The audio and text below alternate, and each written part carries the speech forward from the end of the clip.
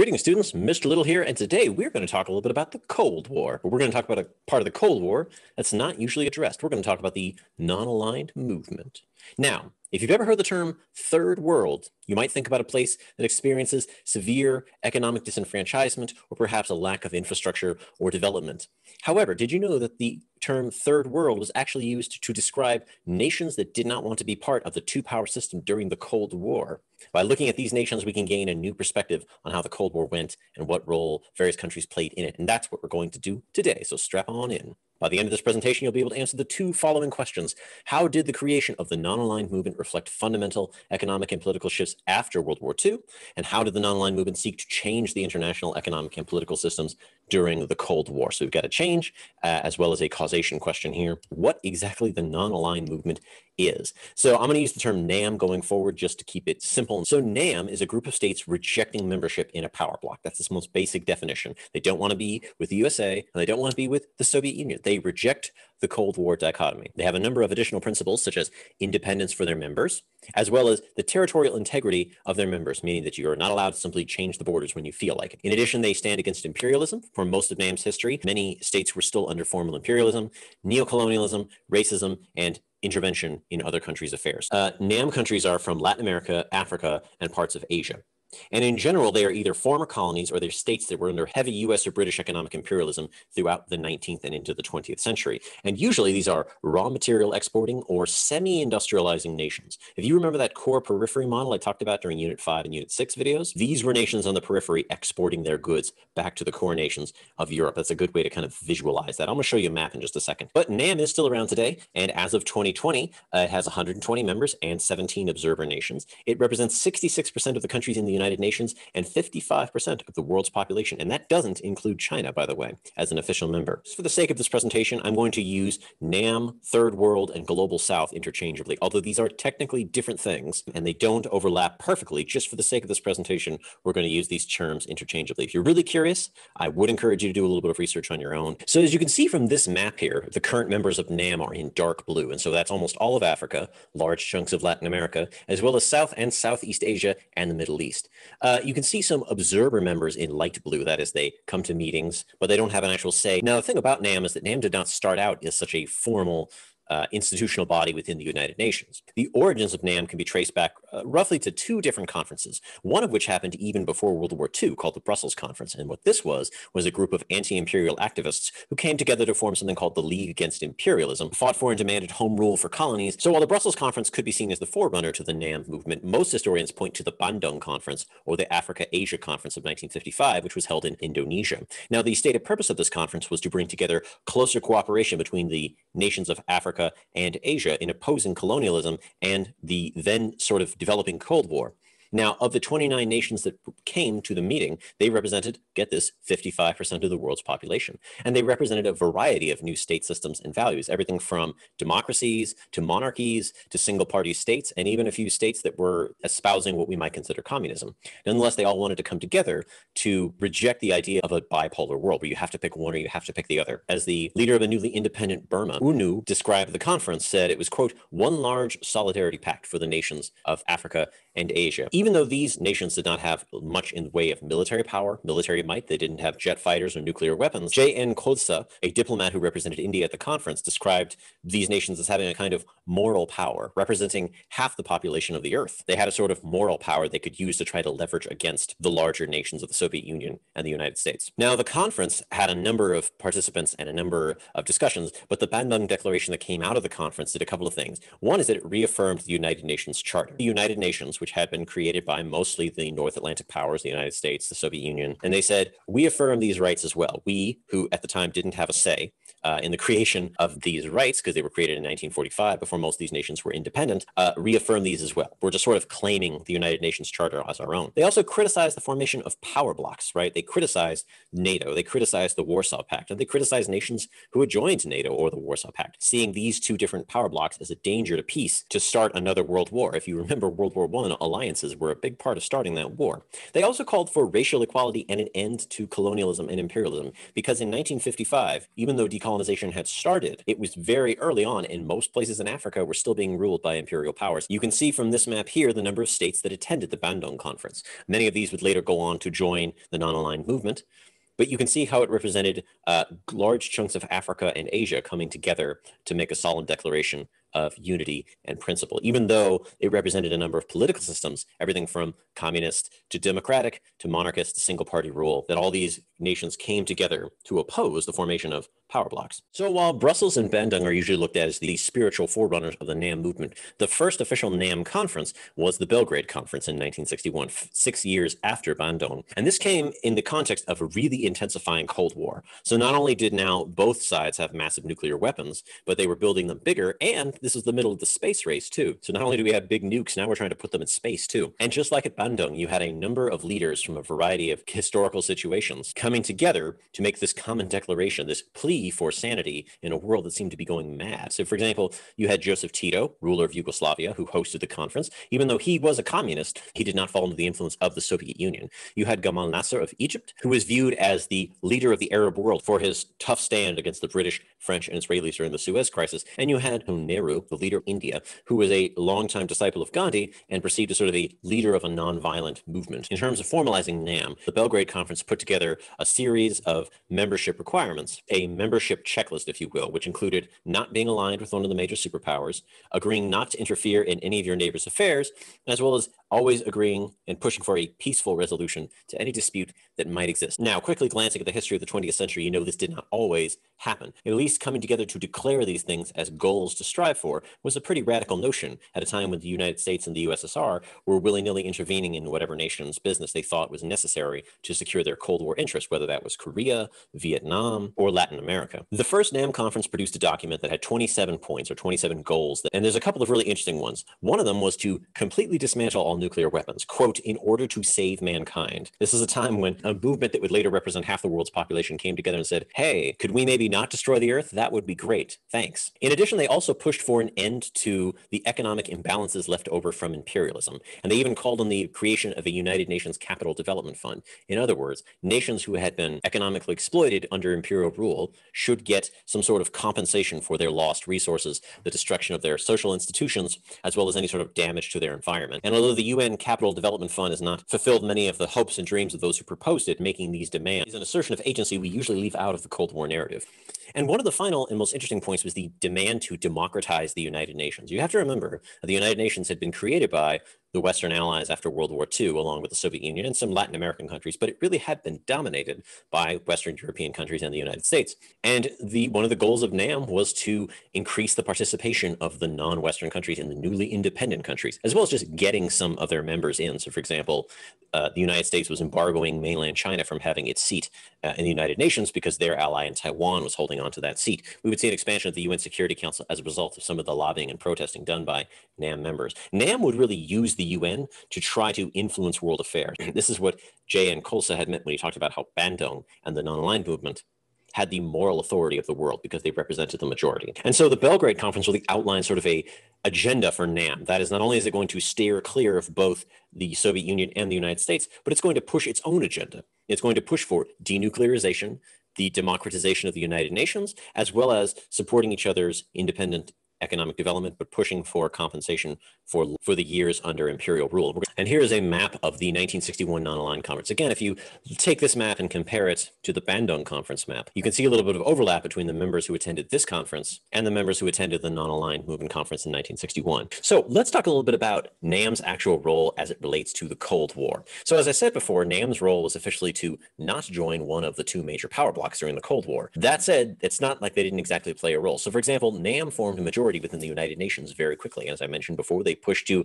expand the seats on the Security Council so that they could have more of a say in the deployment of United Nations peacekeeping forces, as well as other United Nations actions. It's also notable that many NAM countries provided peacekeepers for many UN peacekeeping forces. Many UN peacekeeping forces were led by NAM country commanders. And so in this respect, NAM played a part in global politics during the Cold War. In attempting to, to define a ground between the United States and the Soviet Union. For example, this picture right here on the right shows uh, Yugoslav soldiers as part of the UN peacekeeping force to Egypt after the Suez War.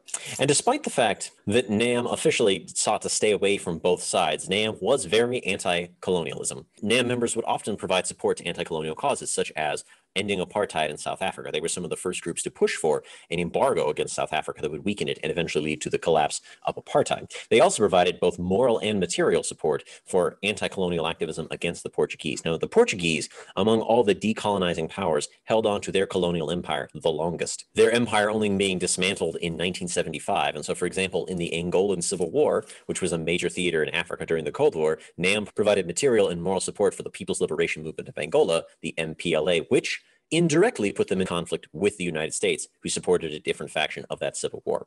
And it's worth noting, especially with the election of Fidel Castro as the leader of NAM, even though officially NAM was non aligned, it oftentimes had more sympathy with what we might call roughly and with a very broad brush uh, the quote unquote communist side of the Cold War. Not that it necessarily had any love for the Soviet Union, but just in general, uh, decolonization, autonomy, and preventing foreign aggression was something that NAM stood for. And during the Cold War, the country that was most overtly interfering in the affairs of others was the United States and to a lesser extent, uh, Great Britain and France.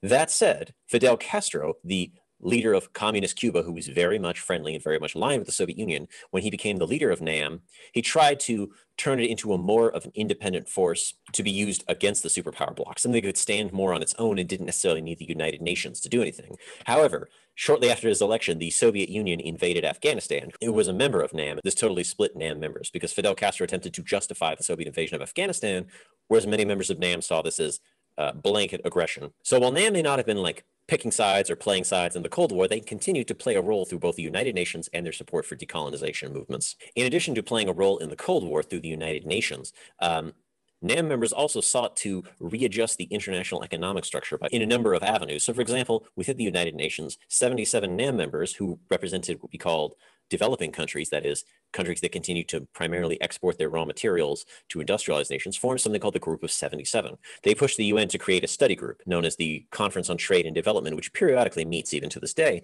in order to discuss the issues and find solutions for how developing countries can further develop down the road. However, it's this situation that many NAM countries found themselves in. Even after they were formally granted their independence, they often continue the economic arrangement they had had with their colonial master, and that is they exported their raw materials to the industrialized countries as their main source of income. Now, these countries wanted to rapidly develop. They wanted to build schools, roads, hospitals, factories, power plants. They wanted to make the lives of their citizens better. They couldn't do this, though, if all they had to export were raw materials. That price could fluctuate wildly and potentially your North Atlantic buyer could just go to someone else and buy cheaper if you tried to raise the price. It was in this economic frame in the 1970s that NAM pushed for something called the New International Economic Order. I know it sounds like a conspiracy your grandpa talks about at Thanksgiving, but essentially it was a framework. It wasn't a set list of goals, but it was a framework by which countries in the global south could get fairer prices for their raw materials, such as petroleum, tungsten, aluminum, bauxite, possibly even forming cartels to control the price of these goods being sold to the north, uh, as well as demanding an end to some uh, debt obligations created during imperialism. You might remember Haiti having to pay France for its independence, as well as un- what we call unconditional technology transfers. This was the demand that northern countries provide members of the global south with things such as agricultural technology, medical technology, and uh, power technology such as nuclear power unconditionally, not having to buy it, not having to pay for it, but as reparations for imperialism uh, providing them with this technology to give them the chance to develop as well. This has actually come up recently in 2020 with the spread of COVID around the world. Many nations in the global south are pushing for the WTO to lift its restrictions on intellectual property and allow them to make copies of the Pfizer and Moderna vaccine. And funny thing is, there actually is a clause in the World Trade Organization's intellectual property laws that allow intellectual property claims to be suspended during a pandemic, but nothing has come to this so far. Now, while this framework was somewhat radical, uh, northern industrial countries pretty much were able to get around it by just ignoring it and not being willing to engage with it. So, the United States President Ronald Reagan, Prime Minister of Great Britain Margaret Thatcher, and Chancellor of Germany Helmut Schmidt uh, simply ignored the, the NIEO, uh, and effectively it became a dead letter. In 1981, at an international economics conference in Cancun, Mexico, President Ronald Reagan basically said, you know, uh, we're just not going to negotiate. We're not going to talk about this anymore. And uh, that was the end of that. A number of scholars have pointed out that it's around this time when we see the emergence of what we call neoliberalism, or an ideology that the market the popularization globally of an ideology called neoliberalism. That is, where government policies and international bodies should promote free trade, free markets over anything else, be that environmental concerns, social concerns, or poverty concerns. So this is usually the failure of the NIEO is seen as the beginning of the neoliberal age. And while the NIEO might have been a failure, a number of NAM members actually had some success forming a commodity cartel in the form of OPEC, or the Organization of Petroleum Exporting Countries, who are mostly, but not all NAM members. Now, OPEC is what we call a commodity cartel. It controls the the sale, production, and price of a certain commodity. In this case, the members of OPEC currently control about 50% of all oil production and 90% of all known oil reserves. Now, probably their highest moment of success was 1973. In response to U.S. support for Israel during the Yom Kippur War, they effectively embargoed the United States uh, from oil. And this created a crisis situation in America uh, for several months in 1973 and really demonstrated the potential power of a commodity cartel, at least initially, uh, to forced the global north to pay attention to the global south. Now, since then, OPEC has been dominated by infighting uh, price wars between members, and it has not had the power that it had in 1973. Nonetheless, the NIEO and OPEC represent how the non aligned movement attempted to shift the global economic situation during the Cold War and how, while it's true that there was one side of the Cold War advocating communism and the other side of the Cold War advocating capitalism, there was a group in the middle that was just trying to say, hey, we'd like to build a better life for our citizens. Could we talk about restructuring the global economic order? And not with the use of nukes, I might add. The 1973 oil embargo had a negative unintended consequence on many NAM members, and that is the increase in the price of oil made it more expensive to import their raw materials. And as a result, many NAM countries saw a decrease in the demand for their raw materials, and hence their income plummeted, forcing them taking out a number of loans, a huge amount of debt, which turned into a crisis in the 1980s when there was an interest rate spike. But by the 1980s, many NAM countries were in a horrible debt crisis in which they were no longer even able to pay the interest on their debt. And it's at this time that the International Monetary Fund steps into the picture. Now, the IMF had actually been founded after World War II. Officially, its job was, quote, to foster global growth and economic stability, but it wasn't actually ever clear what that meant. But after the 1970s, uh, the IMF changes its mission. As an international financing body, it becomes the global assurer of a nation's credit. So the IMF can help a nation get a loan uh, to pay off debt or to come out of a disaster, uh, but it also is going to assure that nation's credit. And they're going to do this by only giving out loans with conditions. And these are well, they have a bunch of different names, but they're broadly called structural adjustment loans or structural adjustment programs. What happened with the debt crisis is that many NAM nations went to the IMF for a loan in order to get themselves out of this debt crisis. IMF only gave out these loans with the accompanying structural adjustment programs. And what that means is that it was an end to what the IMF referred to as wasteful or corrupt local spending. This included things like import substitution programs, uh, social welfare programs, and in general, opening up a nation to more trade. Now, in the IMF's defense, there was a lot of localized corruption in some of these NAM countries, and some of that spending was probably wasteful or not efficient. On the other hand, these IMF loans made it very difficult for NAM countries to effectively develop their own economies anymore. They became a player in a globalized market. And in this globalized market, many nations only wanted their raw materials and didn't actually care if their people uh, saw better development. One uh, interesting example of this would be the case of Jamaica. Now, Jamaica had a leader in the 1970s named Michael Manley who attempted to uh, develop Jamaica as an independent economic power. Jamaica has a very important raw material called bauxite.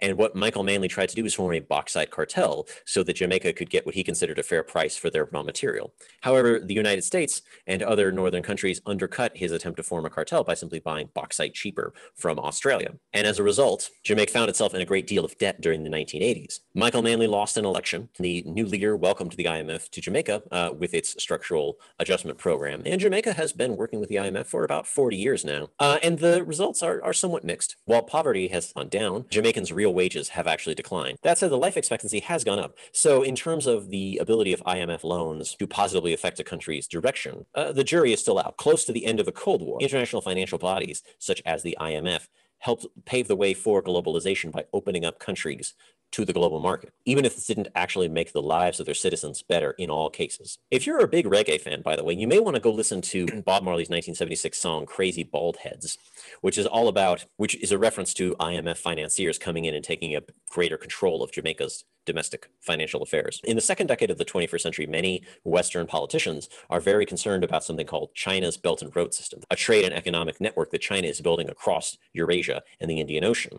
But the way that China is getting countries to sign up for the Belt and Road System is by posing as an alternative to the IMF. Many nations recognize that the IMF had strings attached to their money, but China doesn't have strings attached to their money. And whether you think that's a good thing or a bad thing, China's Belt and Road system can be seen as an alternative to the IMF by many nations in financial need or in financial distress. China has demands of its own, but China doesn't demand that nations change their internal domestic politics in order to get a loan from Beijing. So, for all the roles that NAM played during the Cold War, NAM was unfortunately plagued by a number of weaknesses, and probably chief among them was that it wasn't necessarily a solid unified body. It pushed for unified objectives such as the NIEO framework or for nuclear disarmament, but not being able to act and not being able to effectively force anything apart from moral pressure, NAM was effectively unable to act uh, during the Cold War to stop either side from committing violence. For example, NAM was not able to stop the United States from bombing Vietnam, which was one of its own members, or stop the Soviet Union from invading Afghanistan, which was also one of its members. And sometimes you even had intermember conflict that neither side could resolve, the Chinese Indian War in 1962 or the Tanzania Uganda War in 1979. Although NAM would push for peaceful resolutions, it could never effectively step in and prevent violence. And this is in part because of their very strict policy about non intervention. They believed that each member was strictly sovereign and would, could not be intervened in. But this also meant that there would be no effort to prevent what we would consider human rights violations or genocide. So, for example, Indonesia's massacre of its entire Communist Party in 1965, which consisted of half a million to a million people, as well as Saddam Hussein's increasingly brutal crackdowns on democracy in Iraq in the 1970s, these were not to be interfered with. Many NAM countries came to be ruled by single party states or by the military. And whether this might be good or bad or necessary or not necessary, uh, a lack of accountability that comes with at least nominally democratic systems uh, meant that there was an increase in corruption and conflict within these countries. In addition, even though NAM was officially non aligned with either the Soviet Union or the United States, that didn't mean that NAM members didn't occasionally go to one side to get supplies, in particular weapons, for a war it might have, like with a local rival, such as in the Ogaden War, when Ethiopia asked the Soviet Union for help against Somalia, or the Iraq Iran War, in which Iraq, although nominally a friend of the Soviet Union's, uh, asked the United States for weapons to fight Iran. In addition to these political failings, most NAM members were members of the Global South, and they were not able to put any effective pressure on the industrialized North to change any of its policies on trade or the price of goods. This includes the inability to form commodity cartels and the inability to stabilize prices of raw materials, which could impact a member's ability to steer its own economic development away from exporting raw materials. NAM still exists today, as I said at the very beginning of the presentation, and since the end of the Cold War, it's been trying to reorient itself. In particular, it's been a large voice for what we call global self-determination, in particular the right of Puerto Rico, the people of the Palestinian territories, and Western Sahara to determine their own future. It has opposed U.S. military hegemony in certain parts of the world, such as protesting the 2003 invasion of Iraq. Despite this, most scholars and political observers believe that the ability to inspire, or the moral authority that NAM might have possessed at the Bandung conference, that moral power to make the world listen. It has been damaged through 50 years of uh, corruption, inability to stop conflict, and a failure to deliver on many of the economic promises the NAM nations made to their people. And so, while NAM might still exist today, perhaps the idea of NAM and what NAM stood for and what it could be uh, might need some renewing. But, anyways, that is a history. That's a very brief overlook at the roles and impact of the formation and economic and political impact of the non-aligned movement during the Cold War. I want to thank you for joining me. You should definitely be able to answer those two questions from the beginning of the presentation. My name is Mr. Liddle, and I'll see you next time.